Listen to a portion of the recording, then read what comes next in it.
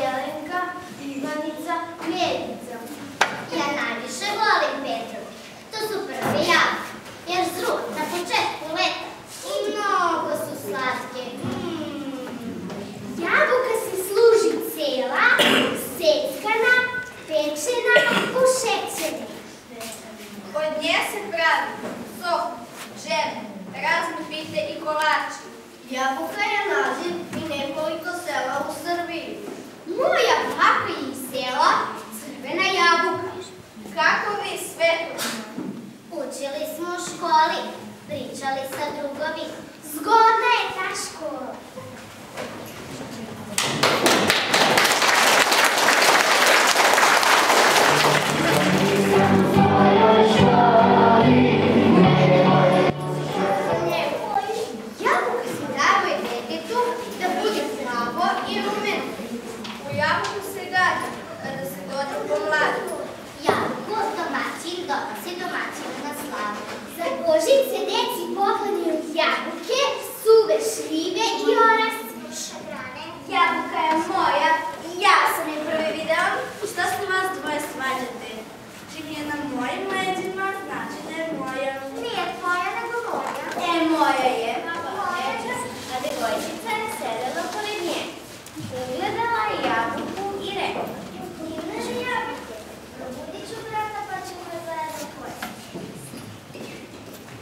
Yeah.